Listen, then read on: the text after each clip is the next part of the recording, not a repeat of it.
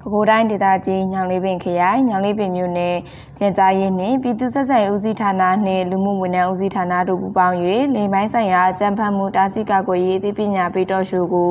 ရမန်နှင့်မိုးလင်းပိုင်းကပြန်ကြားရေးနှင့်ပြည်သူ့ဆက်ဆံရေးဦးစီးဌာန community center ခမ်းမ၌ကျင်းပပြုလုပ်ခဲ့ပါလိမ့်ရှင်။ ရှေးဦးစွာပြန်ကြားရေးနှင့်ပြည်သူ့ဆက်ဆံရေးဦးစီးဌာနဦးစီးရရှိဒေါ်နီနေဝင်းက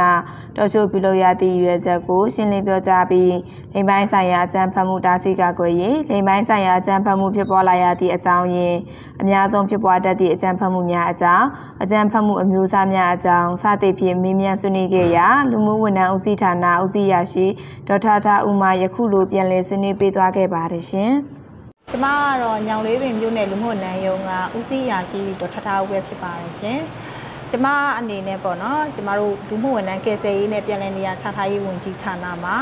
ဌာန၃ခုရှိပါတယ်။လူမှုဝန်ထမ်းဦးစီးဌာနရဲ့ဘေးရန်ရဲ့စီမံခန့်ခွဲရေးဦးစီးဌာနရဲ့ပြည်လည်ထူထောင်ရေးဦးစီးဌာနရဲ့ဆိုပြီးတော့၃ခုရှိပါတယ်ရှင်။အကျန်းဖတ်မှုအမျိုးအစားတွေကတော့ပေါ့နော်ရုပ်ပိုင်းဆိုင်ရာအကျန်းဖတ်ခြင်းစိတ်ပိုင်းဆိုင်ရာအကျန်းဖတ်ခြင်း လိမ်ပိုင်းဆိုင်ရာအကြမ်းဖက်ခြင်းစီးပွားရေးဆိုင်ရာအကြမ်းဖက်ခြင်းနဲ့ဆက်သွယ်ရေးနည်းပညာတွေကိုအသုံးပြုတဲ့အကြမ်းဖက်ခြင်းတွေဆိုပြီးတော့ရှိပါတယ်။ဒီကအကြမ်းဖက်မှုဖြစ်ပွားတဲ့အကြောင်းရင်းကတော့ပေါ့နော်။ကြားမှ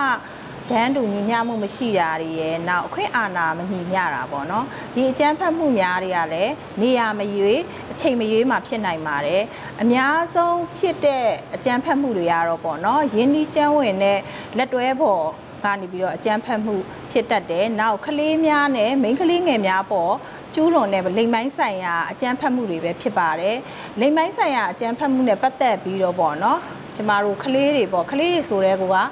ယောက်ျားလေးမိန်းကလေးတွေပါပါတယ်ဘယ်လိုလူတွေကနေလှုပ်တလဲဆိုလို့ရှိရင်လေသူတို့ကသစိမ်းတွေရင်းနှီးမှုမရှိတဲ့သူတွေကနေပြီးတော့မှအကြမ်းဖက်တာမဟုတ်ပါဘူးအရင်းနှီးဆုံးသူတွေကနေလှုပ်တာဥပမာပြောရမယ်ဆိုလို့ရှိရင်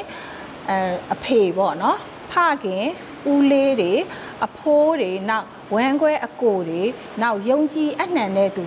ရဟန်းတန်ကားတွေပါပါတာပေါ့နော်ဒါတွေကိုပေါ့နော်ကျမတို့တွေအနေနဲ့ပေါ့နော်မဖြစ်နိုင်ဘူးဆိုပြီးတော့ပေါ့နော်ဟိုတွေးချင်းတွေးကြလိမ့်မယ်ဒါမဲ့ကျမအနေနဲ့ကဖြစ်နိုင်တာဟိုပေါ့နော်ပြောနေတာဟိုပဲမဟုတ်ဘူးပေါ့နော်ဒီကိစ္စတွေက ဒီဖခင်တို့ဦးလေးတို့အဖိုးတွေကနေပြီးတော့လိမ်ပိုင်းဆိုင်ရာမှာအကြမ်းဖက်မှုလုပ်ခဲ့တဲ့ဟာတွေကကျမတို့လက်တွေ့ဖြည့်ရှင်းခဲ့ရတဲ့လိမ်ပိုင်းဆိုင်ရာအကြောင်းတွေပြဿနာတွေဖြစ်ပါဒါတွေကပေါ့နော်တကယ်ဖြစ်ပျက်လေးတွေဖြစ်ပါတယ်။ဘာကြောင့်ဒီလိုဖြစ်ရတာလဲဆိုတဲ့အကြောင်းရင်းတွေကတော့ပေါ့နော်အဲအဓိကကတော့ မိဘတွေပေါ့နော်မိဘတွေကဆင်းရဲတယ်ပညာမတတ်ဘူးဘဟုတုတတွေဘာတွေပေါ့မရှိဘူးပေါ့နော်သားသမီးတွေအပေါ်မှာသူတို့ကလစ်လူရှုထားတယ်နှွေးထွေးမှုတွေမပေးဘူးပေါ့နော်အဲကြတော့မိဘတွေအနေနဲ့ကသားသမီးအပေါ်မှာဂယုစိုက်ဖို့လည်းလိုအပ်ပါတယ်အခုခေတ်မှာဆိုလို့ရှိရင်ပေါ့နော်ဖုန်းတွေကလည်းပေါ်လာတယ်အဲကြတော့အသက်ငယ်ငယ်လေးတွေနဲ့လဲပေါ့နော်ဒီအခုဆယ်ကျော်တက်တွေဆိုလို့ရှိရင်ဖုန်းတွေကိုပေးကင်တယ်နောက်ပြီးဆုံးအဲအသက် အသက်တစ်နှစ်ကနေ9နှစ်အတွင်းဟိုတောင်မှပေါ့နော်မိဘတွေကဖုန်းတွေကိုကလေးတွေကိုပေးကင်ကြတယ်ပေးကင်တဲ့အတွက်ဘာတွေစိုးကျိုးဖြစ်လာတာလဲဆိုတော့ကလေးတွေကိုကလေးတွေကင်တက်တဲ့ဟာကိုပဲမိဘတွေကဂုံယူပြီးတော့ပြောဆိုနေကြရပေါ့နော်ဒါပေမဲ့ဒီကလေးတွေဒီငငယ်ရွယ်ရွယ်ကလေးလေးတွေကဒီဖုန်းတွေကိုကင်နေဆိုလို့ရှိရင်အုံနောက်အာယုံကြောတွေထိခိုက်တယ်လို့မျိုးပေါ့နော်ဒီစေကြောတက်တွေကြတော့လေဟိုဘယ်လိုကောမလဲ မမြင်သင့်တာတွေပေါ့နော်မမြင်သင့်တာတွေပြီးတော့ဟိုဘယ်လိုခေါ်မကြည့်သင့်တဲ့ဟာတွေအများကြီးရှိတယ်ပေါ့ဖုန်းထဲမှာအဲကြတော့အဲ့ဒါတွေကိုကြည့်ပြီးတော့မှသူတို့တွေကပေါ့နော်ဟိုမဒိမှုတွေကျူးလွန်တာပေါ့နော်အသက်ငယ်ငယ်ရွယ်ရွယ်နဲ့မတိုင်မဲနဲ့အဲ့လိုမျိုးပေါ့နော်မဒိမှုတွေကျူးလွန်မှုတွေကိုပေါ့နော်ဖြစ်ပေါ်လာနိုင်တယ်ပေါ့နော်ဒါကကလေးငယ်တွေအတွက်ကိုပြောတာပေါ့နော်လူကြီးတွေကကြတော့လေခန္ဓာဘောင်းဆောင်ကိုကြည့်ရတဲ့အတွက်ပေါ့နော်အတိတရား ပေါ့နော်မရှိတဲ့သူတွေအတွက်စင်ကျင်တုံတရားမရှိတဲ့သူတွေအတွက်ကြတော့လိမ်မိုင်းဆိုင်ရာအကြမ်းဖက်မှုတွေကိုဖြစ်ပေါ်လာပါတယ်မိဘတွေအနေနဲ့ကလည်းမိမိရဲ့သားသမီးကိုပေါ့နော်အမြဲတမ်းစောင့်ကြည့်ဖို့လိုအပ်ပါတယ်ဥပမာပြောရမယ်ဆိုလို့ရှိရင်ဖုန်းတွေကြည့်နေတဲ့အချိန်ပေါ့ဖုန်းကြည့်နေတဲ့အချိန်ဆိုသူဘာကြည့်နေတယ်လဲပေါ့နော်သူဇလန်းကြည့်နေတာလား သူပေါ့နော်အဲ Facebook တွေပါတွေတုံးတယ်ဆိုလို့ရှိရင်ဘသူနဲ့များစကားပြောနေတာလဲဒါတွေကိုဆိုလို့ရှိရင်လည်းမိဘတွေကအလုပ်တွေလုပ်နေကြတဲ့အတွက်ကိုယ့်ရဲ့သားသမီးကိုပေါ့နော်တိတိကျကျစောင့်မကြည့်ကြပါဘူးဒါပေမဲ့အဲ့ဒီဟာကိုမိဘတွေအနေနဲ့ကလည်းတည်တင်ပါတယ်အဲ့ကြတော့သူတို့ကဖုန်းပေါ်မှာ line ပေါ်မှာတွေ့ကြတယ်ချိန်တွေ့ကြတယ်ချိန်တွေ့ကြတယ်ချိန်တွေ့ပြီးတော့အဲ့တစ်ဖက်လူကပေါ့နော်အိုမှန်းမသိအပြိုမှန်းမသိပေါ့နော်အဲ့လိုမျိုးတွေနဲ့သူတို့တွေချိန်တွေ့ကြတယ်ချိန်တွေ့တဲ့အခါမှာလည်းသူတို့သွားပြီးချိန်တွေ့တဲ့အချိန်မှာတူးတည်းမဟုတ်ဖဲနဲ့ပေါ့နော် တချို့ကြတော့3-4ယောက်ပေါ့နော်ဒီ main ကလေးအပေါ်မှာ3-4ယောက်ကနေပြီးတော့မှဒီလိမ်ပိုင်းဆိုင်ရာပြုကျင့်ပြီးတော့အကြမ်းဖက်တာတွေရိုက်နှက်တာတွေပေါ့နော်ဒါတွေကဖြစ်ပေါ်ဖြစ်ပေါ်လာတယ်ပေါ့နော်ဖြစ်ပေါ်လာတတ်တာတဲ့ဖြစ်ပေါ်တယ်ပေါ့ဖြစ်ပေါ်ခဲ့တယ်ဒီလိုဖြစ်ပေါ်ခဲ့တဲ့ဟာတွေကိုလည်းကျမတို့တွေကဖြည့်ရှင်းခဲ့ရတယ်ပေါ့နော်အဲကြတော့ယောက်ျားလေးဆိုပြီးတော့လေယောက်ျားလေးကယောက်ျားလေးပဲအဲ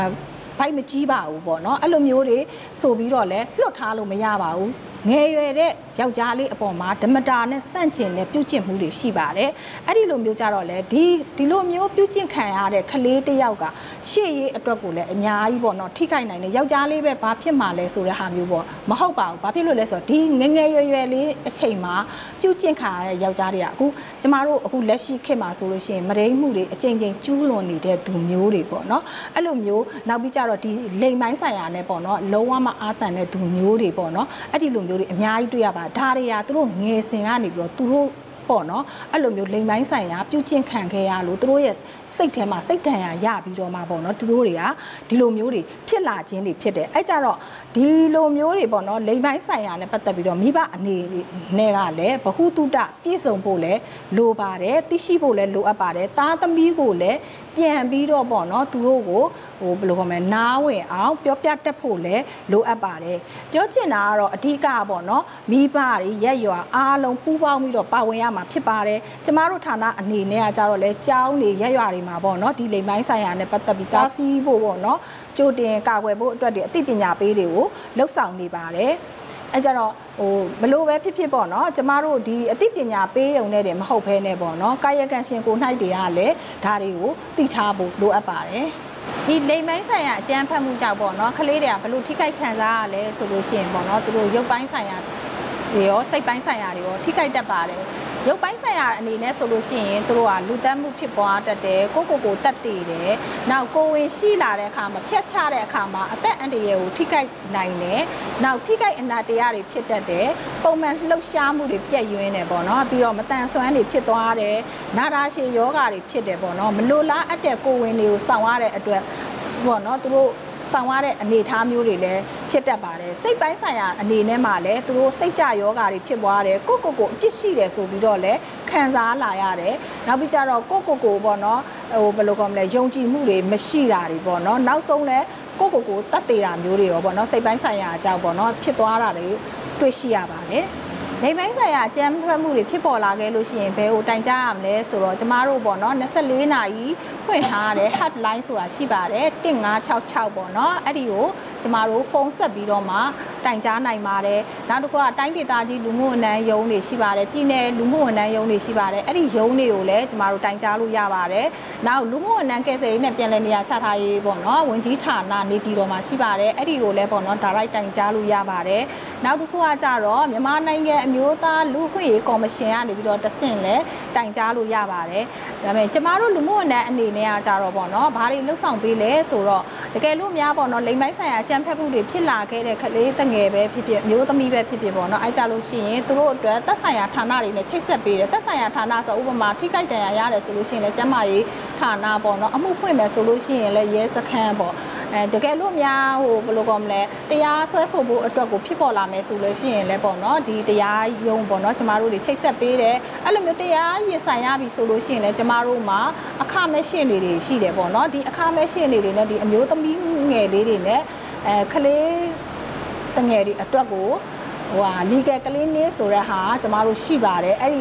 ကိုပေါ့နော်ကျမတို့ကသူတို့သူတို့ကိုချိတ်ဆက်ပေးပါတယ် နောက်ခုကကြတော့ကျမတို့လူမှုဝန်ထမ်းအနေနဲ့ကကြတော့ psycho social support ပေါ့နော်အဲ့ဒီဟာကိုပံ့ပိုးပေးပါတယ်လိုအပ်လို့ရှိလို့ရှိရင်လည်းကျမတို့လိုအပ်တဲ့သူကိုပေါ့နော်ထောက်ပံ့မှုလေးတွေပေးပါတယ်ကျမအားလုံးကိုခြုံပြောရမယ်ဆိုလို့ရှိရင်တော့ပေါ့နော်ဒီလိမ်မိုင်းဆိုင်ရာအကြံဖတ်မှုနဲ့ပတ်သက်ပြီးတော့ဘဟုတုတရစေမဲ့ဟိုပါပေါ့နော်ဟိုစာတွေပေါ့နော်ဖတ်စေခြင်းပါတယ်နောက်ပြီးကြတော့ ဟိုလေ့လာစေခြင်းပါတယ်အတိတရားနဲ့ပေါ့နော်တတိရှိပြီးတော့ဆင်ကျင်နိုင်မှပဲပေါ့နော်ဒီဟာကိုကြိုတင်ကာကွယ်လို့ရမယ်လို့ကျွန်မအနေနဲ့ပြောချင်ပါတယ်ဒါကြောင့်မို့လို့ပေါ့နော်မိဘတွေပြည်သူလူထုအနေနဲ့ကလည်းမိသားကိုယ့်ရဲ့မိသားစုအပေါ်မှာလစ်လူရှုမထားပဲနဲ့ပေါ့နော်ဂယုစိုက်ဖို့အတိတရားရှိဖို့အဲတာဝန်တိတိနဲ့လှုပ်ဆောင်ဖို့လည်းလိုအပ်ပါတယ်ဘလောက်ပဲကျမတို့အနေနဲ့အသိပညာပေးခြင်းကိုလှုပ်ချင်း ဘလောက်ကြီးပဲလုပ်နေပါစေပေါ့နော်ကာယကံရှင်ကိုနှိုက်ကလည်းသိရှိလိုက်နာမှုပေါ့နော်သတိရှိမှုတွေကိုသိထားနိုင်မှသာကြိုတင်ကာကွယ်လို့ရနိုင်မယ်လို့ကျမအနေနဲ့ပြောလိုပါတယ်ရှင်ဒီသတင်းကိုညောင်လေးပင်မြို့နယ်ရုံးမှပေးပို့တာဖြစ်ပါတယ်ရှင်။